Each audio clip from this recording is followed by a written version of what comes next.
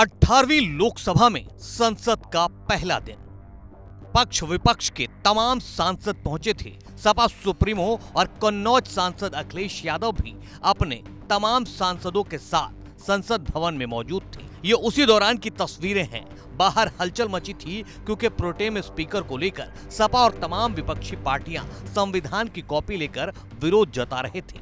ये सियासत का एक पहलू है। लेकिन संसद में आज पहले दिन एक ऐसी तस्वीर भी देखने को मिली जिसकी हर तरफ़ तारीफ़ हो रही है। अखिलेश यादव का ये वीडियो सोशल मीडिया पर वायरल हो रहा है।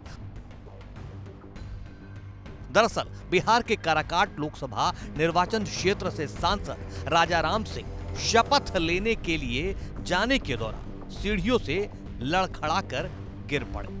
सदन में मौजूद तमाम सांसद देख रहे थे, लेकिन बिजली की तेज़ी के साथ अखिलेश यादव करीब करीब दौड़ने जैसे अंदाज में उन्हें संभालने के लिए उठ खड़े हुए। राजा राम सिंह को लड़खड़ाता देख समाजवादी पार्टी के प्रमुख अखिलेश यादव संभालने के लिए अचानक अपनी सीट से दौड़े। हालाँकि राजा राम सिंह तब तक संभल चुके थे। उस वक्त चेयर पर बीजेपी सांसद राधा मोहन सिंह पीठासीन थी।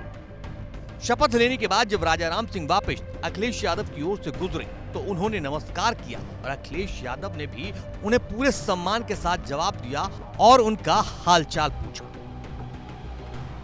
ये वीडियो सोशल मीडिया पर वायरल हो रहा है। लोग अखिलेश यादव के फिटनेस और उनकी सरलता की तारीफ़ कर रहे हैं। यानी पहले दिन ही अखिलेश बतौर सांसद लोकसभा में छा गए।